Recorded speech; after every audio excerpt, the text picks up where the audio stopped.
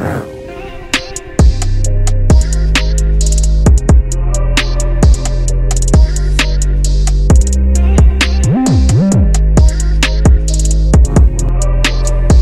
guys, I'm here with my MT07 and today I'll be removing this ugly ass warning sticker.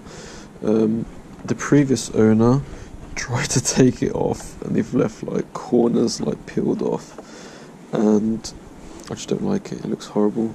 So I'll be showing you how to do it. Uh, all you need is a hairdryer, I've got a Tresemme one, um, it'll just do the job.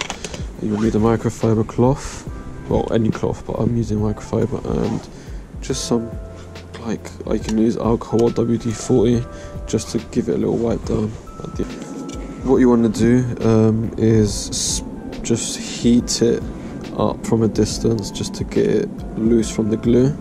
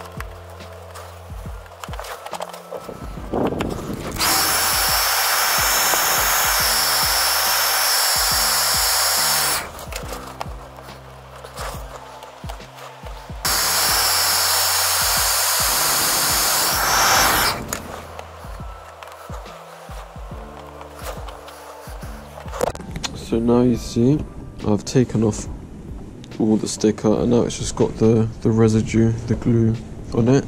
So what you want to do is get a microfiber cloth, spray some WD-40 and then just give it a gentle wipe like this.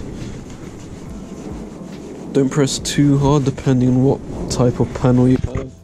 Could damage it, but mine is alright because it's like plasticky, if I'm sure it is give it a wipe.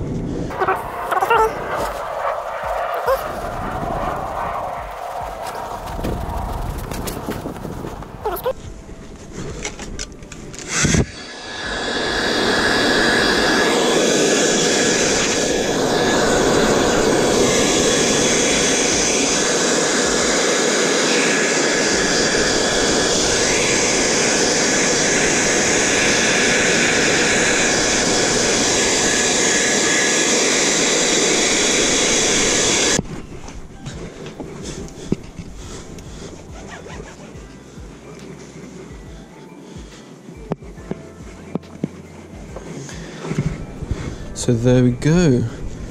I have given it a nice clean and it looks so much better already. I'm glad I took the sticker off. But yeah, that's all. I gave it a little bit more of a rub. Um, just you know, going deep because the edges always leave a like more of a like glue residue. And um, yeah, so I'm sure you, you, can do this with any sticker. I've got these ones here as well. But obviously, I love these ones because these ones are more okay. So these ones are going to stay. Um, but yeah, that, that is it. That concludes. It's nice and clean. Looks so much better. Yeah, I hope you enjoyed my video.